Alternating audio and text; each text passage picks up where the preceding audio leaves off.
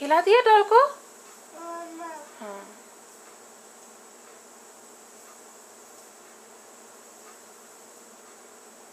फिर खिला दो ग्रेप्स खिला दो डॉल को।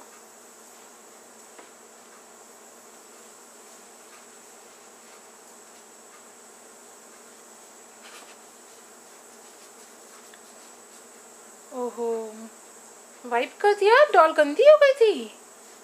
ओके। अब ग्रेप्स खिला दो।